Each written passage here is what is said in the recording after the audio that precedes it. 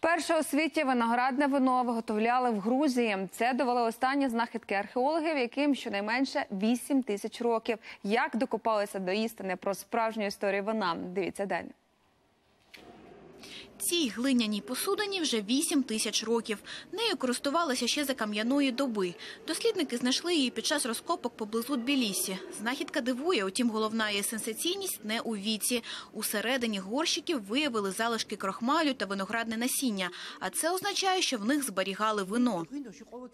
У складі вина є виноградний крохмаль, мікроскопічні сліди виноградних насінин та рештки мошок, які постійно літають під час виготовлення вина.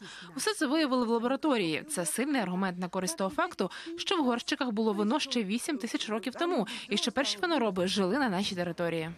Знахідку виявили вчені з канадського університету в Торонто спільно із дослідниками з Грузинського національного музею. А хімічну експертизу довірили американській лабораторії у Філадельфії.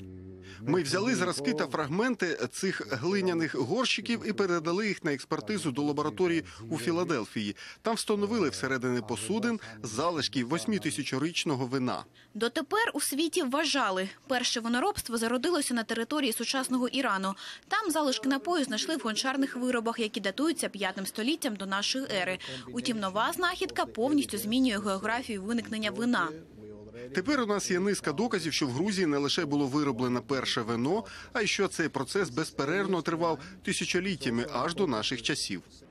Утім, виноградне вино не найстаріший алкогольний напій, який люди вживали в давнину. У Китаї, приміром, ще 9 тисяч років тому робили рисову медовуху, настоянку з меду, рису та фруктів. А в окремих китайських провінціях вино виготовляли з пшона. Аліса Орлова, новини, телеканал Інтер.